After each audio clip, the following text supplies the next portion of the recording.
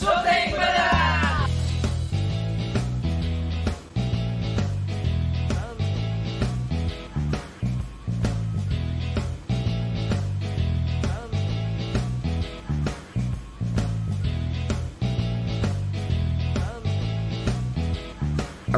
warahmatullahi wabarakatuh. Apa kabar sahabat syuting beneran?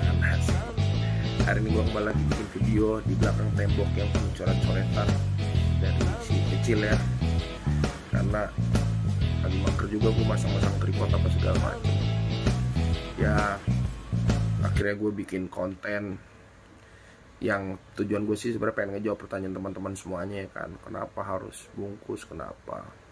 Ya memang sudah jalannya seperti itu. Dan memang uh,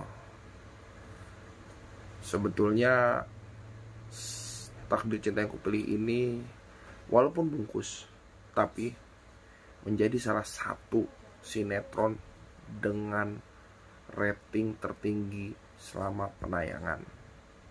Gitu kalau dirata-ratakan ya menjadi salah satunya. Dan juga menjadi satu kebanggaan lah buat kita semua lah kayak gitu kan. Eh itu pun semua terjalin berkat pastinya dukungan lah ya dari kalian atas izin Allah. Sehingga judul kita bisa mendapatkan rating yang baik gitu kan dan juga tayangan yang sangat diminati. Berhubung eh di luar apa selain eh, jalan cerita yang memang sangat menarik pastinya juga kerja keras dari kita para talent dan kru untuk bisa mendukung dan menyokong eh, program ini. Salah satu sinetron yang kita cintai ini menjadi sinetron yang dibanggakan. Meraih banyak gelar meraih banyak penghargaan. Jadi menjadi sebuah pemanis dalam perjalanan kita sampai dengan bungkus gitu kan ya. Dan juga pastinya kalau dibilang sedih ya sedih lah. Teman-teman semua pasti sedih gitu kan. Di sisi lainnya senang mungkin karena kita tetap mencetak eh, rating tertinggi gitu. Dan juga eh, apa ya? Kita sangat senang karena memang suasana syutingnya yang sangat-sangat kekeluargaan sekali. Tidak ada konflik di dalamnya. Kalau teman-teman pernah mungkin berpikir oh ada konflik atau enggak sama sekali? Tidak ada satu sama lain.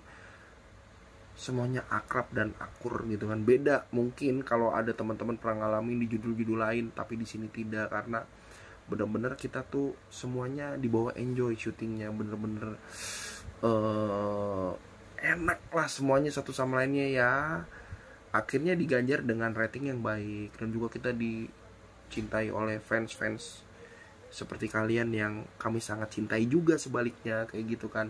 Pokoknya saya berharap eh, kita bisa ketemu lagi dengan pemain-pemain lainnya.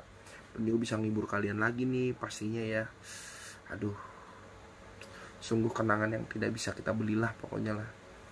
Eh, beberapa eh, 20, 20 kurang lebih 22 bulan lah ya kita semua berjuang keras untuk judul ini. Dan sampai akhir pula di ujungnya tapi yakinlah kita akan berjumpa lagi ya teman-teman ya. Terima kasih buat kalian para fanbase yang sangat saya hormati sangat saya cintai.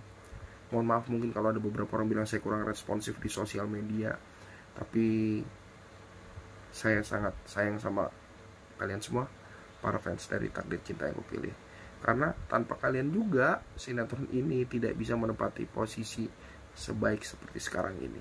Kayak gitu. Oke teman-teman kalau gitu saya pamit undur diri. Sampai ketemu di next next vlog selanjutnya. Oke mohon maaf kalau background saya berantakan hari ini. Assalamualaikum warahmatullahi wabarakatuh